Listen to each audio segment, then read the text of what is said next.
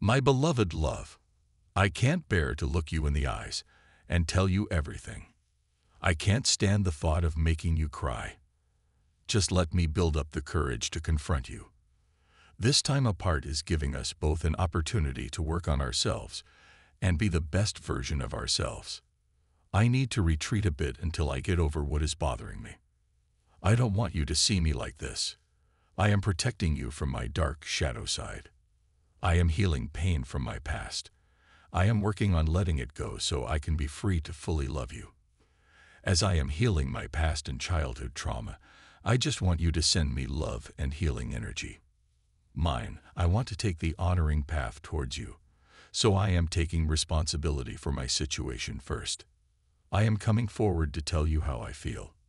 I know I have what it takes to make you mine. I am ready for a new beginning. Twin flame signs. As your twin flame, I mirror what you're going through. Notice how we are very similar and share the same vision. There is a connection between us that cannot be denied. We have to work on ourselves to be together.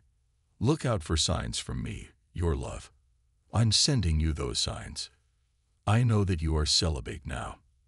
Only an emperor who is your energetic match will get to have you and make love to you.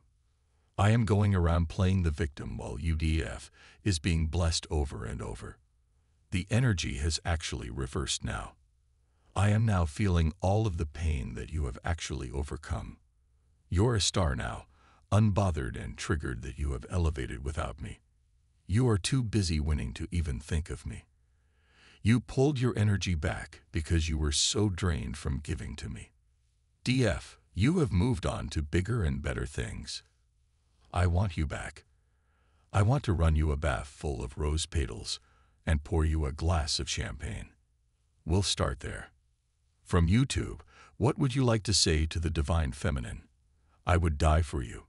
You gave me so many chances and so much time to change, dear. I really thought that she was better than you. She has no boundaries. She lets me control her because she's so insecure.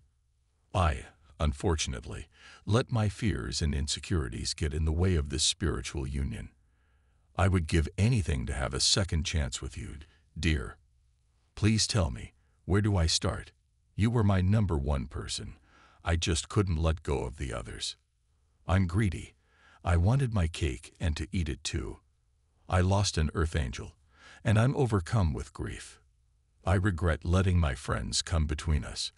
They think it's funny that I lost you. I know that I took you for granted. You told me that you were my twin flame and that you would never leave me. You alchemized all of the pain and chaos I caused you and turned into the Empress. I'm keeping you protected and safe from the karmic by staying away. Today, I don't want to do this shadow work. I'm lazy. You more or less told me to come to you correctly, or don't come at all. I am suffering in silence, due to the fact that I disrespected and disregarded you. From Divine Masculine. Type yes if you believe.